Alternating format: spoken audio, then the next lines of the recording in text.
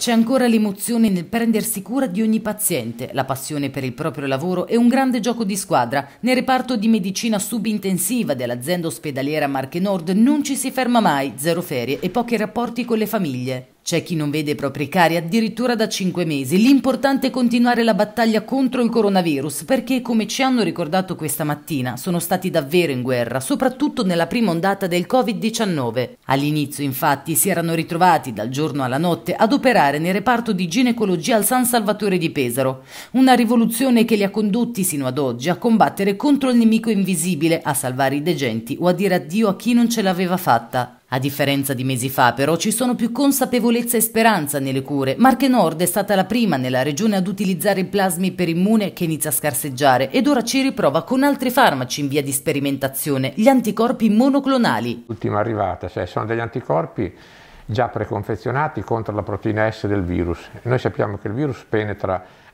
cioè, sfruttando questa proteina S. Se noi riusciamo a bloccare la proteina S il virus non riesce più a penetrare e se noi usiamo questi farmaci in fase precoce, quando ancora il virus deve attaccare in maniera drammatica il nostro organismo, non riusciamo a impedire l'entrata del virus. In questo modo, ci spiega il primario, sarà possibile ridurre l'ospedalizzazione fino al 70%. L'importante è che il farmaco venga somministrato nel giro di sette giorni. Il prossimo passo sarà quello di presentare all'AIFA entro il 15 febbraio un protocollo di studio. Quando partirà questo studio noi ci siamo attrezzati con un ambulatorio e con eh, la possibilità di seguire poi questi pazienti dopo che hanno effettuato una infusione di questo farmaco che va fatta endovena per circa un'ora, nei giorni successivi attraverso anche la telemedicina che è l'ultima innovazione che abbiamo messo a punto a Marche Nord che è estremamente importante. Dottore, quanti pazienti avete in reparto?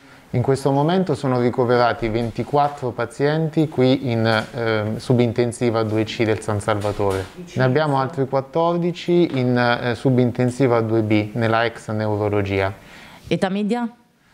Varia molto, abbiamo pazienti molto giovani eh, che fortunatamente rispondono per lo più alle terapie, hanno una degenza anche abbastanza breve e poi abbiamo una quota parte di pazienti più anziani con molte comorbidità su cui c'è l'aggravante del Covid eh, che hanno una degenza sicuramente un po' più lunga e anche altre complessità di tipo internistico da gestire insieme alla patologia Covid. La pandemia, prosegue il dirigente Mucci, è stata una prova importante per tutti, sia dal punto di vista scientifico che psicologico. La quantità e la qualità del lavoro ci hanno messo a dura prova, prosegue, ma pensiamo di aver ottenuto dei buoni risultati grazie a quello che abbiamo imparato sul campo e grazie alla scienza che ci supporta. Al momento, come spiega invece Samuele Bedetta, anche la gestione dei posti letto è sotto controllo e a Santa Croce rimane attiva l'area grigia, un settore in cui cui vengono portati i pazienti che nonostante i due tamponi negativi hanno una condizione clinica sospetta. Abbiamo eh, in questo setting eh, 16 posti letto che sono coordinati dalla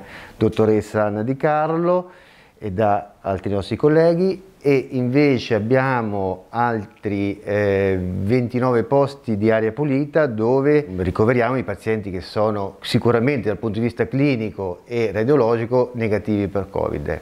Gestione, coordinamento, obiettivi raggiunti. Soltanto l'unione, ci racconta Cinzia Benedetti, ci ha portati a risolvere grandi problemi o affrontare ogni piccola difficoltà. Solo stando tutti insieme, come abbiamo fatto fino adesso, affrontando una cosa che non conoscevamo, eh, superando anche magari delle piccole banalità, eh, ognuno mettendo del suo, siamo riusciti sia dall'infermiere, io coordinatore, le mie collaboratrici collab eh, infermieri coordinatori, fino all'OS e fino all'ultimo oper operatore a raggiungere gli obiettivi per dare un certo senso di umanità e professionalità che abbiamo tutti dentro. Con la speranza, concludiamo, di poterne uscire il prima possibile. Con la speranza di poterne uscire possibile e andare poi tutti in ferie.